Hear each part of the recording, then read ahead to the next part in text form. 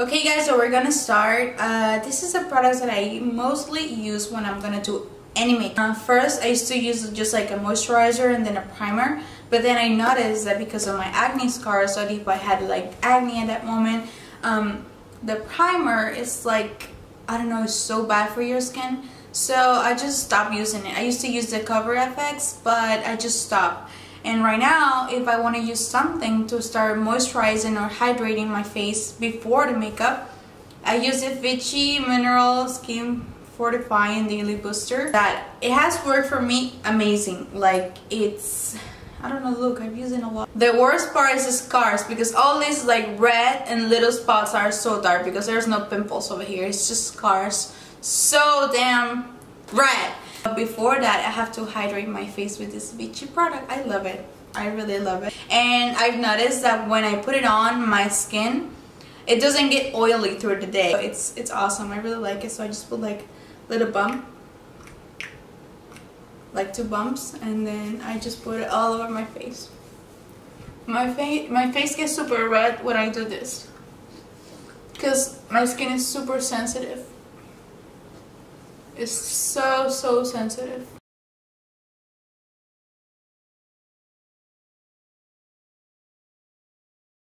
Sometimes I put like vitamin C at night also when I do my nighttime routine. So if you want to see how's my nighttime routine, just let me know and I can do that video for you. If I'm going out, right now I'm not going to. I'm just going to do a makeup and then just take it off and stay home. So I'm not going to use the sunscreen, but this is very important. I use it every single day. I use this one from La Roche Posay. This one is, it doesn't feel oily, so that's why I like it. Is I think it's water based. So I don't know, this is really nice. After I put my hydrating boost, I put La Roche sunscreen. Okay, now we're going to see how I cover up those scars. I'm a master at it. I'm just I'm such a badass doing that, so you will see. Okay, so my first step is using a green concealer. This is like a tricky part because if you don't know how to actually blend the product, you're gonna see the little green paths like coming through your foundation. So you have to know how to blend it. So I just use the LA Girl LA uh, Pro Concealer. I never put it like directly to my face because the acne is a bacteria. So if you put it over here, the bacteria is gonna keep on the product and then you're gonna if you put it in another place you're gonna you know spread the bacteria so just don't I just put it in my hand and then with blending brush, whatever you have, I just put it right in the scars. So I'm gonna put a little bit on my hand. And then I just start putting everywhere. I use it every day, everywhere. Well, not every day. When I, if I'm honest, when I'm like using light foundation, I don't care that my scars like they come through. I don't care because that's my skin. That's how my skin is, and you have to be proud of it. Like you cannot let anybody else let you feel like it's something like disgusting or something. It is not. It is not. You just scars, okay? They're in your face, they're red, you can see them, but that's it. I just grab the little concealer and then I start putting everywhere what I see. Sometimes I just do it everywhere. On the sides of my nose, my nose gets super red. So I just do it like on the sides of my nose. Wherever I have scars which is pretty much on the sides of my cheeks.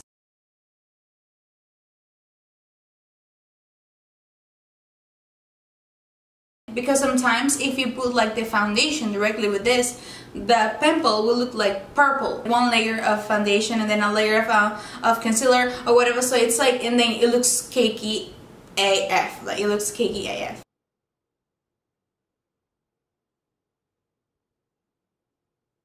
Remember that this changes like the color but not the texture. Like you still, if you have any bump, it's gonna show up. Like it's not like it's gonna disappear. Oh, like suddenly, no. The texture, you cannot take out the texture of your skin.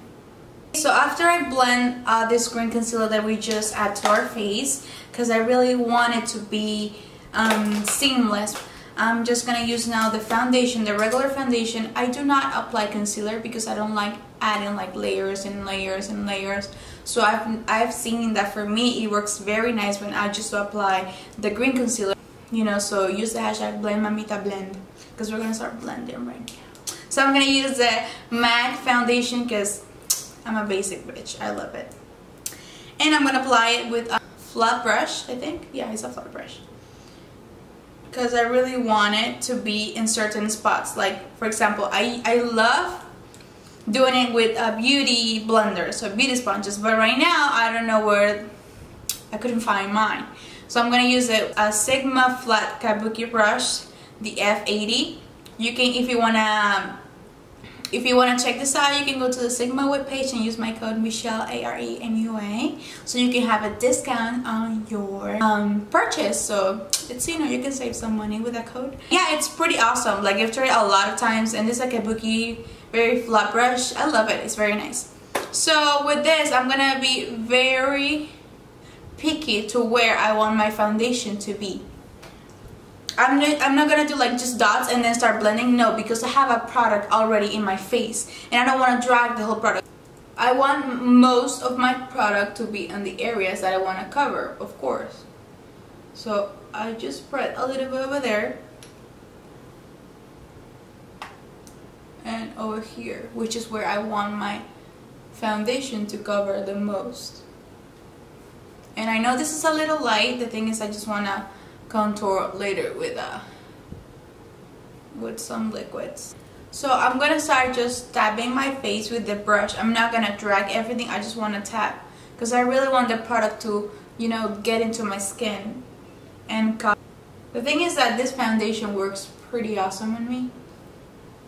Okay, so the foundation was looking a little too light for me, but I just fixed it because I put some then NYX Total Control um, drops in a very dark is a mocha color. It's very dark but I use this because it's very liquid to actually match my foundation. And what I did was tap the thing is that this foundation is very full coverage. So you see that just with one layer like it cover up everything. Sometimes if I want my foundation to stay like this after this I spray a little bit of the uh, Urban Decay uh, the setting spray. But I do it when I want my foundation to actually look like this or after I do my contouring which is what I'm gonna do right now because I really want you to see how I cover up with like the contour highlight and that's it. Like I really wanted to go explaining my face how I do my face with my pimples and all my scarring and all that. So first I'm gonna start with the contouring. I have a little palette so I just put like some drops over there. I just blend like I'm using this synthetic brush by uh, Crown Cosmetics. I got it at the BoxyCharm box. So I just use this. I like try to blend everything together and then I start creating my shape. I just did my brush and I want to see how I want my face to look. So I just do some taps where I want my cheekbone to be very snatched. And then I just start blending everything.